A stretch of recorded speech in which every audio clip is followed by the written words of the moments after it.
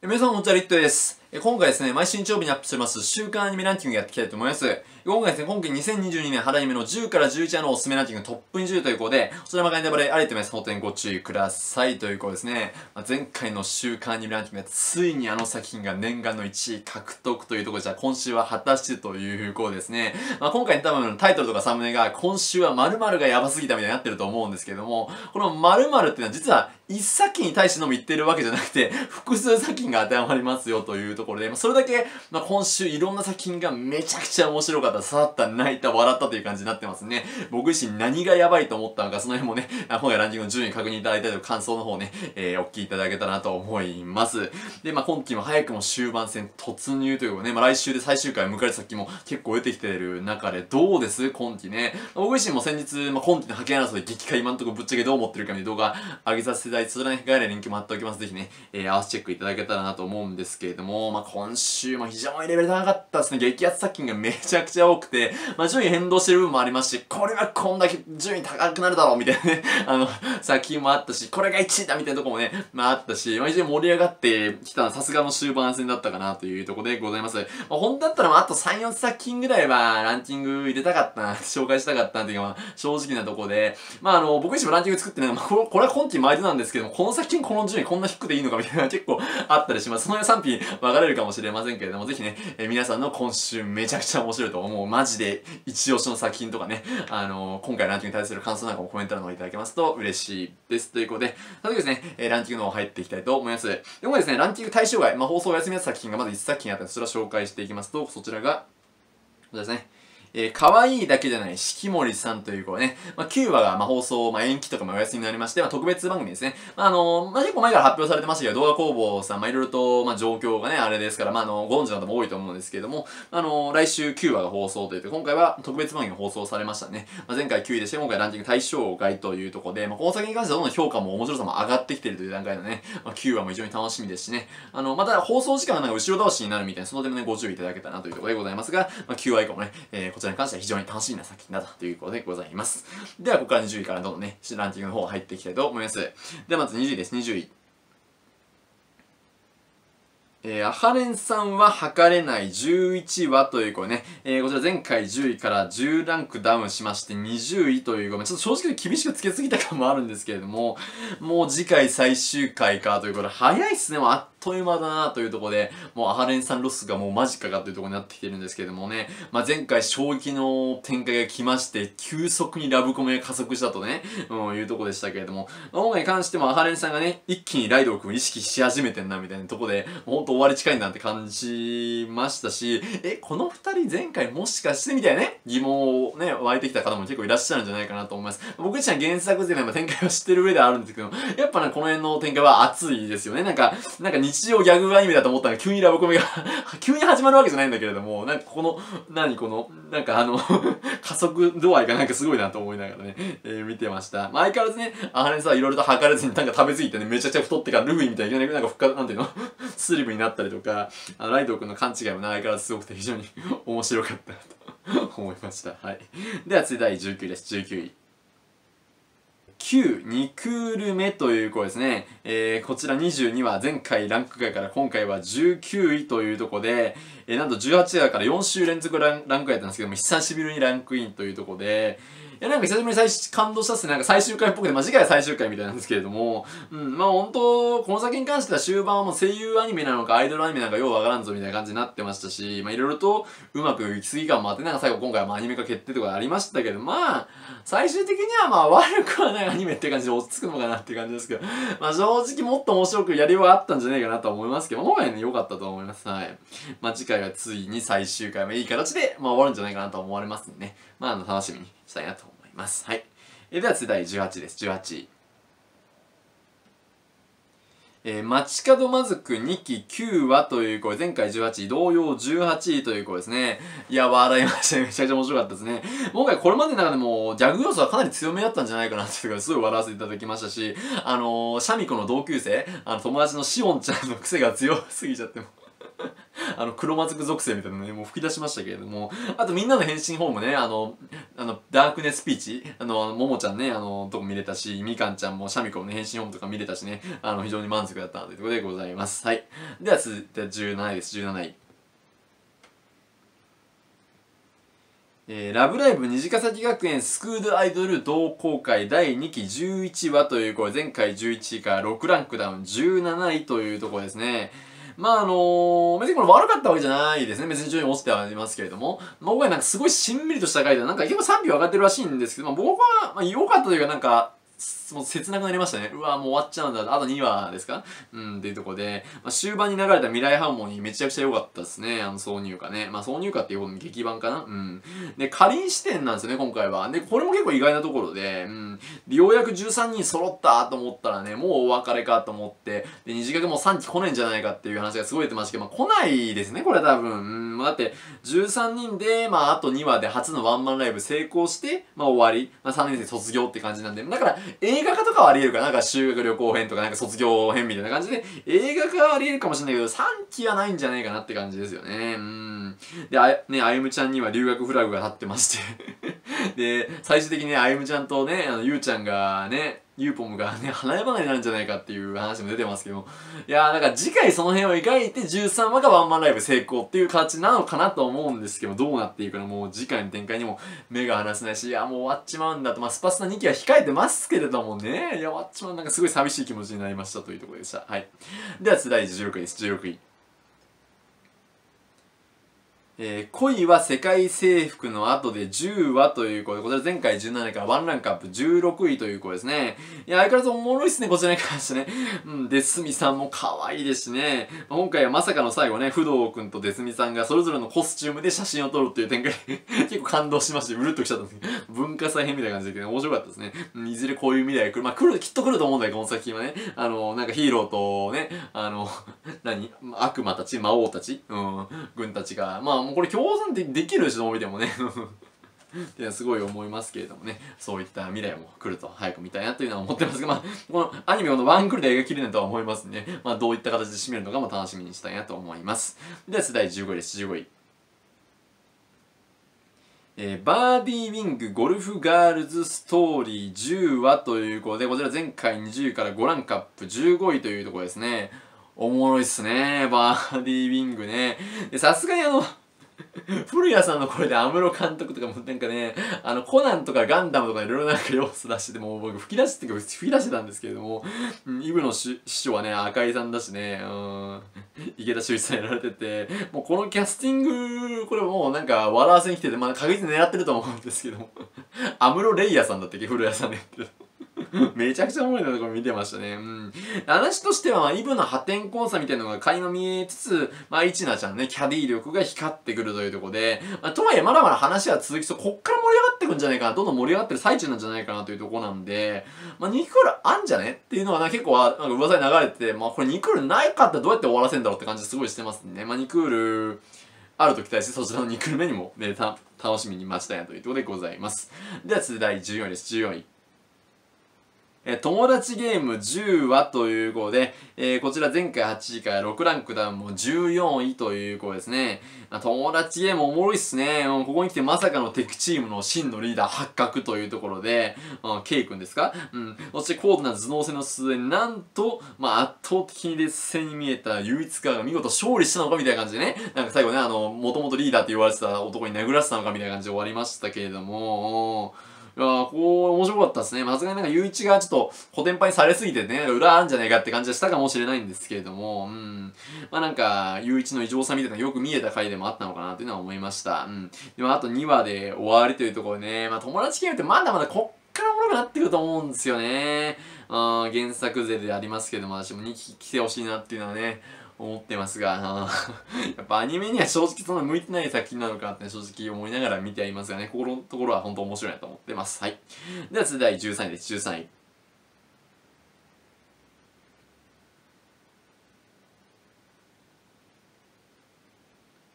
えー、出会いもん10話という子ですね。えー、こちら前回16位から3ランクアップ13位という子ですね。出会いもん、A ですね。うん、ま、個人的にはもうみんなの優しさが垣間見える A パートですよね。もうあの方がなんか好きだったな、まあ B パートよりねっていう印象があったんですけど、特にね、お父さんが密かに見守ってんのがいいですね、A パートに関しては。うん、で、まあ B パートね、世代を超えて受け継がれる思いみたいな、またこれも良くてね、うん、というとこで、まあ最初学校でひどいことを言われてね、自分の名前嫌いになってしまうっていうね、コウメちゃん。最終的に自分の名前を大好きなら、梅にはこういう意味があるんだよっていうところを言っていくコウメちゃんね。うん。で、またその梅の意味も全く違って見えてくるの構成も非常にうまかった。まあさすがに出会いものね、あの、感動あったかパートもあり、面白かったなと思いますました。はい。では、次第12です。12。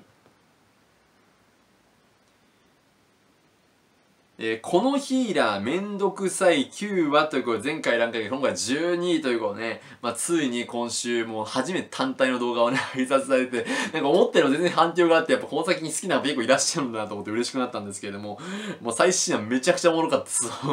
でも面白すぎてもうひたすら笑ってましたね。もうずっと爆笑。で、カーラも可愛いというところで、まあ、前回正直やっぱあんま笑えなくて不安というかね、さすがにちょっとなんか面白さも限界来たかとか思ったんですけれども、うん。今回これだけ面白くて、やっぱこのアニメおすすめできるなと大好きだなというのね改めて感じました。で、まあ、カーラの出る要素みたいなのも最近かなり出てきてて、まあ、そこまたね、うまく作用して面白いなっていうのは思いましたし、あのー、ただただアルビンさんがね、不憫なだけのアニメじゃないっていうのはね ポイントだけだと。うん、こういうのワンクールに一つは見たいなってね、すごい思ったとこでした。いや、面白かったですね。はい。で、12です。では、次第11位です。11位。えー、処刑少女のバージンロード11話という声、こちら前回3位から8ランクえー、ダウンの11位というところでね、まあ、順位落ちてますけど、ま、非常に面白いですね。パンデモニウムやばくね、さすが4大ヒューマンエラーというところですけども、もうめちゃくちゃついてくる。バケモンすぎやあれね。うん、っていうところもありますし、まあ、あかりがやっぱ全ての元気をパンデモニウム、まあ、復活じゃないけども、その小指の穴がなんかできたみたいな話しましたけれども、うん、っていうのも分かってくるというところで、うん。で、あかりの目論見その時間を回帰しても、うまくいかないのがフレアによって阻止されてるんじゃないかみたいな話も出てきてて、おー、なんか結構重要さ明らかになるなと思いながらね。ねえー、見てました。で、あかりの過去にもなんか、あかりの過去ってもどんどんなんか記憶がなくなってるんですけど、そこもなんか秘密ちょっとありそうだなとか思ってね、まあ今回は見てましたね。うん。で、まあ次回最終回っすよね、これ 畳めんくないって思ってんだけど、まあまあ2期も来てほしいですし、まあなんとかこのパンデモニウム戦うまくいって、も正直これあと2話は少なくとも必要な感じするんだけど、どうやって描いていくのちょっとまあ注目ですけどもね。うん。まあまあその辺も楽しみに、まあ2期もね、ぜひ来てほしいなと思います。はい。では、ここからトップ10入っていきたいと思います。では、第10位です。第10位。えー、勇者やめます10は前回13位から3ランクアップしまして、えー、ついにトップ10入り5話までは全部ランクやったんですよ、この先。全部ランクやして。もう先気になるから見とくかぐらいで見てたら、今回ついにランクトップ10入りということでね、いやー、おもろいっすわ、これ。いや、なんか、やっぱ批判的意見もあるんですけど、これおもろいっすよ、夕やめ。うん、非常にいいと思いますよ。うん。あのー、まあ、今回はかなり辛い展開ですよ。なんか正義と悪がね、なんかあの、勇者と魔王軍逆転みたいな展開だったんですけど、なんかそれぞれがなんかすごい苦しそうに思いを抱えながら戦ってるとことか、なんか見てて、すごいうるうるきましたし、やっぱその主人公レオに関しても限界来てたんだなと、なんか死に場所を求めてたんだなとかも分かってきますし、うん。でもなんかそのレオンの優しさみたいなのも、まあ見えてくれるこれまでの描写があって、あの先のことと考えて魔王軍の育成したりですとか、まあ、音楽の戦いでもいつでも殺せらせない殺さないわけですよね、彼に関しては。やっぱその非常になりきれない感があって、まあなんか演技なのかもしれないんだけども、本当まあそれがすごくあったかいというかな、見てて引き込まれるなっていうのは思いました。本当体感時間秒でしたね。もう終わったみたいな感じで、う、いや非常に良かったなと思いましたね。あの、残り2話ということで、まあ、すごく綺麗な形で最終回も迎える、なんか、でこれ原作も最終回なんじゃないかぐらいな感じですけどもね。非常に楽しみですし、まだもう一山ぐらいあってね、あの、最終回迎えるのかなと思いますね。その辺も楽しみにしたいなと思います。はい。では次第9位です。第9位。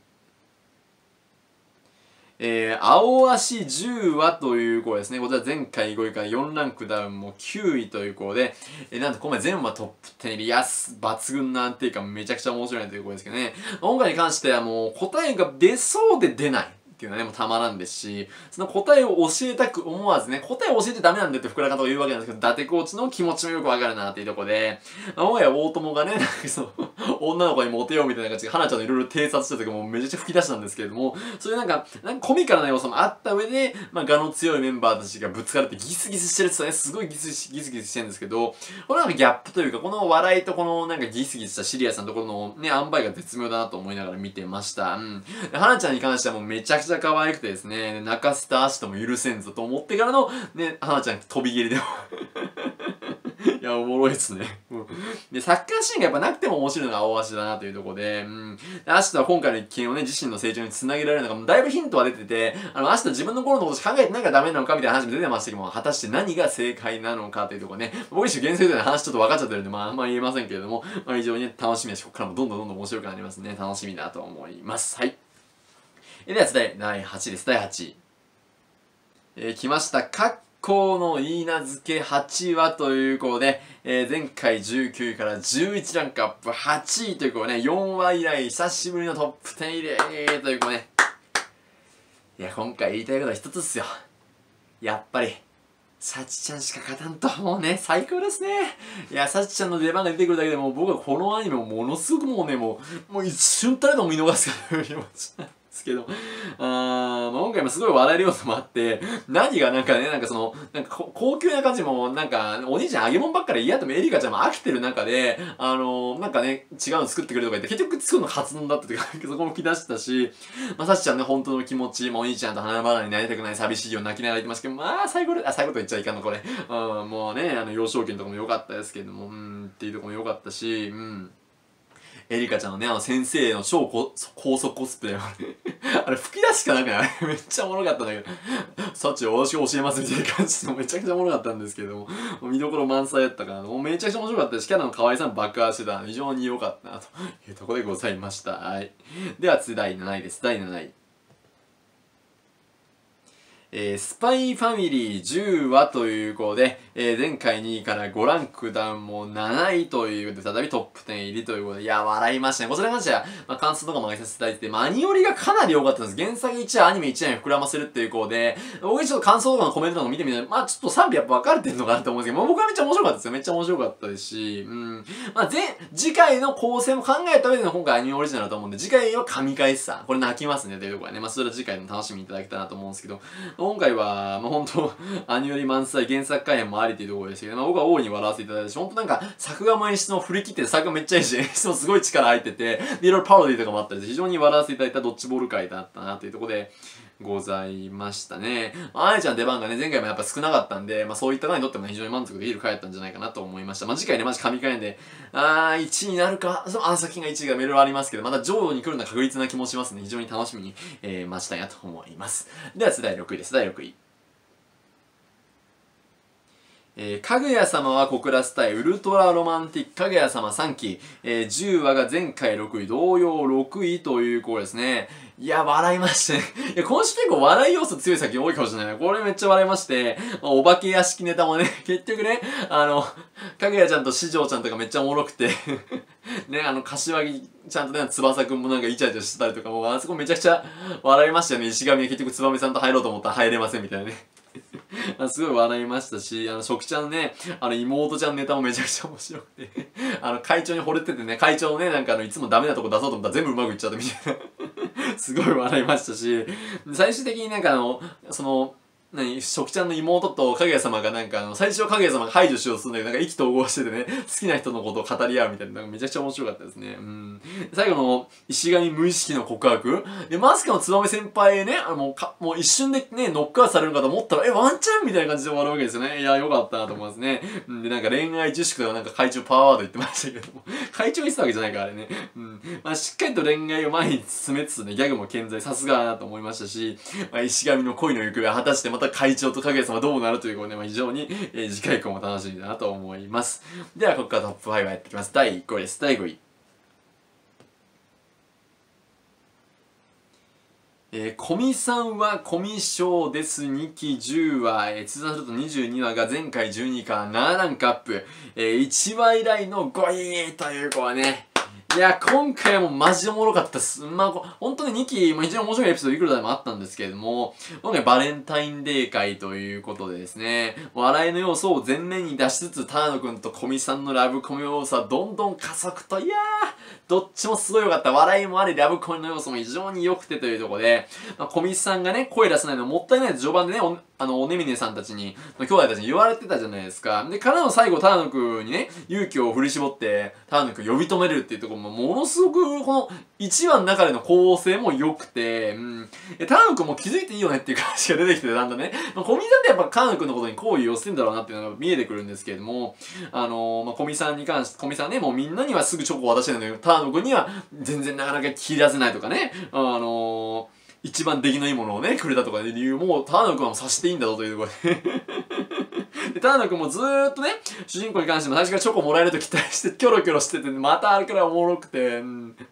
もうね、すごい笑いましたけれども、うん、で、もらえなくて絶望してるのも吹き出したし、片井くんをね、安定して面白いし、あと、男性陣のね、本当かに見えるような妄想。最初さ、山井ちゃんとかこんなことするわけなくないとか思ったら、案の定妄想でね、あめっちゃ面白かったですし、いや、もう、もう、あの、最初から最後までもう、もう笑いと恋愛要素もバリバリでね、めちゃくちゃ面白かったなと思いました。はい。でも残り2、3話というかね、小見さんとみんなの、そして田野くんとの関係性がどこまで進展するのか非常に、えー、楽しみなので、やっぱ演出とかも、非常にうまいなと思いながらね見させていただきました。はい。では続いて第4位です。第4位。えー、パリピ孔明10話ということですね。えー、こちら前回1位が3ランクダウンも4位ということで、まあ、今回に関してはね、もう6話のサイトか結構批判してたラップバトルももうすごい刺さると、まあ、あの、6話に関しよりも全然短めでね、あの、それが逆に物足りないって人もいたみたいですけれども、あの、関戸場さんと壁退治のラップバトルとかも非常に良かったし、今回やっぱなんかね、コメント欄で見ていただいて、あ、そういえばそうだなと思ったんですけど、まあ、結構分かりやすかったんですよ。多分これラップの内容とかテンポ感がね、うん、そういうのもやってよりなんか刺さりましたし、まあ、エイコンちゃんとナナミの対比っていうのもすごい良かったし、最後の曲も、まあ、ついに完成しタイトルがドリーマーっていう引きもね、うん。で、これまでの回想シーンを流しつつの描き方も非常に刺さりましたし、うん、非常に面白かったなと思いましたね。またあの、孔明が過去に引き戻されちゃうほどの、まあ、英子ちゃんのね、歌の凄まじさとかもよく出てましたし、まあ、楽器の出番とかも出てた。まあ、三国志要素もね、今回しかあったんじゃないですか？うん、っていうところで、うん。いや、もううるうる来ました。で、アニョリもあったみたいなんです。まあ、壁大臣の関戸場さんのとこもアニョリなんかな？うん、っていうところですけど、まあ非常に面白くてね、うん、スティーブ・キドさんも良かったし、あのー、スティーブ・キドがね、まゆこちゃんのことをオーナーとか、孔明がもうベタ褒めする中で、スティーブ・キドさんだけまだまだって言うんだけど、はいって言ってね、エゴちゃんもやっぱすごい前向きな姿勢とか見てとる、そのナナミちゃんとの対比とか、あの、唐沢さんのちょっと悪どいね これは、ななみちゃんたちのためにもならんのじゃないかみたいなね、そのお金でいいねを取ろうみたいな作戦とかも、まあ、いろいろ見えてきたりとかして、というところで、まあ、次回いよいよ X で本番になるのかなというところですけれどもね、うん、まだまだ面白さ加速しそう、もう最終回とか約束された神回になってくんじゃないかなと思います。マジで楽しみだなと思います。またね、ちょっと失速がいろいろ言われてるらしい、その辺ね、見解は全部、あの、前回の今週分けた感想とかで話してますね。こちらまたね、ご覧いただけたらなと思います。はい。えでは、ここからトップ3入っていきます。では、第3位です。第3位。えー、本好きの下克上師匠になるためには手段を選んでいられません。第3期9話、通算して35話が、えー、前回15位から12ランクアップ。ここにて初の一桁台、第3位ですということね、いやー、今週の本好きめちゃくちゃ面白かったっすよね。もう、なんか放送あった瞬間からマジおもろかったっすよね、みたいなコメントをいただいて、もうほんとそうだよとか思いながら見てましたけれども、うん、もう泣くしかないっすね。泣きました。もう本好きすごいさ、あった。ここ先の回はね、やっぱシリアス回がすごい続いてたんですけれども、今回見どころがありすぎましたね。バトルシーンもかなり、まあ、この先にしてはありましたし、で、お互いがお互い守ろうとするね、そのみんなの様子みたいなもうかっこよくて仕方なかったね。うん。ですし、そのフェルディナンドさんが来た時の、なんか安心感とかもすごくて、うん、特にやっぱそのマインちゃんの決断って今回すごい刺さるところで、あのー、ジルの養女になるのか、それとも、ね、ジルの養女になっちゃったら離れ離れになっちゃう、家族を守るのかどうするのかみたいな、すごい大きな決断の場面で、やっぱそのマインちゃんは涙ながらも、まあ、家族を守りたいということで、まあ、離れ離れになったとしてもね、無養女になったとしてもやっぱここを守りたいんだっていう思いが、その決断にすごいね、胸を打たれたなというところで、ございました。うん。で、まあそのジルの養女になれば全てうまくいくかもしれないってどういうことなのかっていうところはね、ちょっとまだわからんところもあるんですけれども、うん。まあすごい、まあ次回、最後も最終回ということでね、最終回なんかと思ったんですけどもね、あっという間ですね。この先に10話で最終回っていう、これちょっと早めですけどもね、うん、みたいです。はい。で、まあ、ついね、新店長も今回で追い出しそうでね、いやーよかったよかったと、まあ、あの新店長マジ嫌いなんですよね。みんな嫌いだと思うけど。ね、あのー、もうデリアもね、なんかもう、見事にはめられて、なんかいつまで仲間に加わっていいのかとか思いまし間違いで生産されるのかな、これはね。まあ、デリアもすごい不憫ですけどね、やっぱね。うん。まあ、ディルクの件に関しても絶対裏があるってもう分かってたんです。まあ、案の定ですよ。あのー、養子縁組と見せかけて従属契約みたいな、もう化け物、化け物って感じ。やばいな、新店長とかもう一人の人もね。うん。っていうところで、うん。まあ、あのー、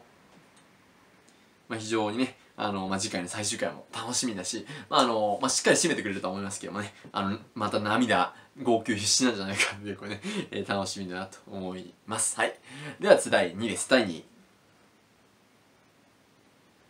サマータイム連打9話ということで、前回の7位から5ランクアップ2位ということですね。いやー、こちら感想動画もね、でもね、ベタを見させていただきまして、体感時間も秒すぎて汗でもう終わったんかいということで、めちゃくちゃ泣いたってたんですね。なんか、ないめちゃくちゃ泣いたの大げさとかいう声もあったんですけど、めっちゃ僕は泣いたし、辛かったし、怖かったしと、ね、次々と明らかになっていく真実が、現実とうまくクロス交差してて面白すぎたというところで、まあ、原作のスピンペースも、ね、非常に良くて、今回今4巻の終盤から5巻の終盤までというところで、うん。まあ、しおりちゃんね、影になる前とか今回初めて出てくるわけなんですけど、そこがまたなんか、あ、しおりちゃん影になる前こんな感じだったので、なんかその、よりなんかすごい辛さも感じさせるところもあったし、まあ、声優さんね、藤宮さんの演技力とかも光ってましたし、うん。でも、牛尾ちゃんね、過去どうやって亡くなったかとかね、影牛尾との出会いとかも、まあ、今回全部明らかになるわけなんですけれども、うん。バトル展開もそうだし、牛尾ちゃんがね、影牛尾ちゃんを信じるところとか、まあ、その牛尾ちゃんの魅力ももうバンバン出てたのかなってね、すごい、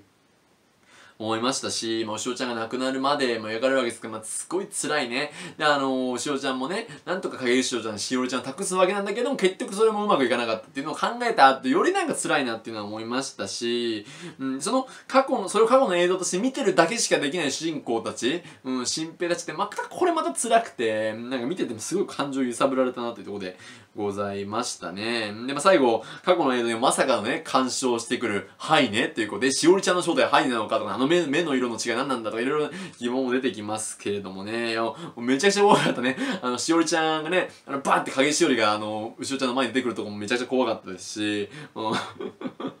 結構ホラー的要素もあったのかなとめちゃくちゃ楽しみましたね。まあ、放送ですも相変わらず盛りだくさんというところでね、あの、今後とも本当に楽しみな作品だなと思います。はい。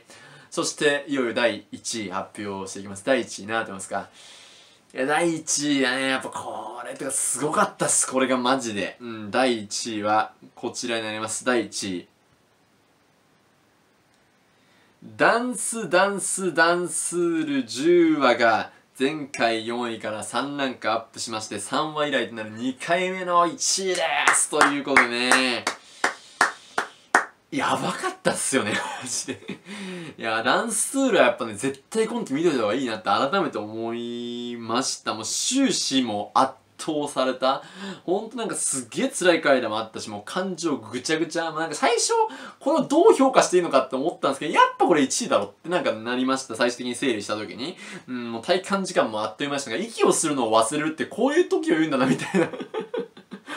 いや、息止まりながら見てたね。うん、でしたし、演出もやっぱめちゃくちゃ良くて、うん、この作品ってね、単なるバレエアニメとしてじゃなくて、なんか、青春群像劇としての一面みたいなものすごく刺さるものがあって、いや、もう、すごい辛くもあり、面白くもあったなというところでございました。うん。今回ね、ルオーの過去がね、ついにはっきりと明らかになるという、まあこれまで結構描かれてて、まあ、おばあ様に虐待されてた、虐待っていうか、なんか虐待レベルのなんか指導を受けてたな、みたいな見えてきましたけれども、今回それがはっきりと明らかになって、おばあ様ガチやばすぎんっていうのが、まああの、わかるというとこの回でね、あの薬というか、またなんかやばさがなんかすごい強調されるエピソードがもうどんだけでもあったんですけれども、うん。